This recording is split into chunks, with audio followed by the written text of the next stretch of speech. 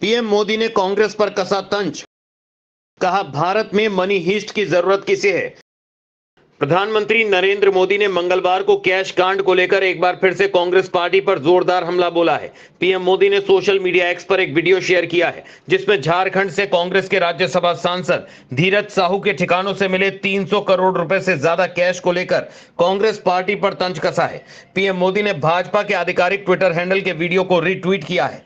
उन्होंने मशहूर web series money heist का ज़िक्र कर कांग्रेस पर निशाना साधा है।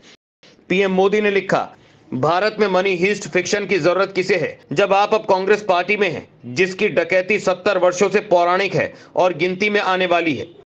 बता दें कि भाजपा ने मंगलवार को अपने ऑफिशियल हैंडल एक्स से वीडियो शेयर किया है। एक मिनट के इस वीडियो में भाजपा ने धीरज साहू के साथ साथ पार्टी अध्यक्ष मल्लिकार्जुन खड़गे और राहुल गांधी पर फिल्मी अंदाज में कटाक्ष किया है।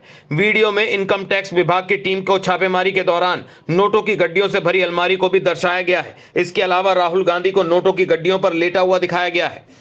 मनी हिस्ट को लेकर सदन में चर्चा के दौरान केंद्रीय गृह मंत्री अमित शाह ने किस तरह से कांग्रेस को घेरा और क्या कटाक्ष किया? आपको सुनाते हैं। अभी झारखंड में किसी एमपी के यहाँ मैं किस दल के हैं कहना नहीं चाहता, पूरी दुनिया जानती है। इतनी सारी कैश मिली कि बैंक के कैशियर कहते हैं, हमने भी इतनी कैश कभी देखी नहीं है। गिनते गिनते पाँच दिन हो गए, सत्ताईस मशीनें गर्म हो गई मान्यवर। गर्म हो गई, मशीनें बंद हो गई। मगर अभी समाप्त नहीं होता है। और एक भी एक भी एक गमंडिया गठबंधन ने इसकी टीका भी नहीं की है उसको सस्पेंड भी नहीं। वहीं कांग्रेस के वरिष्ठ नेता जयराम रमेश ने ट्वीट कर कांग्रेस पार्टी का मनी हिस्ट मामले को लेकर बचाव किया और कहा कि इस मामले से कांग्रेस का कोई लेना देना नहीं है। वहीं भ्रष्टाचार के इस बड़े मामले को लेकर एक बार फिर केंद्रीय मंत्री स्मृति ईरानी ने कांग्रेस पर किस तरह से निशाना साधा?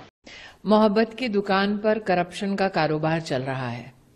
कांग्रेस के आला कमान को, गांधी खानदान को, देश को ये बतलाना होगा कि उनके एक सांसद के दस ठिकानों से 200 करोड़ रुपए जो बरामद हुए, और काउंटिंग अभी जारी है, ये कांग्रेस का नेता गांधी खानदान में किसका एटीएम था अब तक कांग्रेस पार्टी ने चुप्पी साध रखी है ये भी सुनने में आया अखबारों से कि पैसा इतना पड़ा था लूट का कांग्रेस के इस नेता के घर में कि काउंटिंग की मशीनें तक टूट गईं।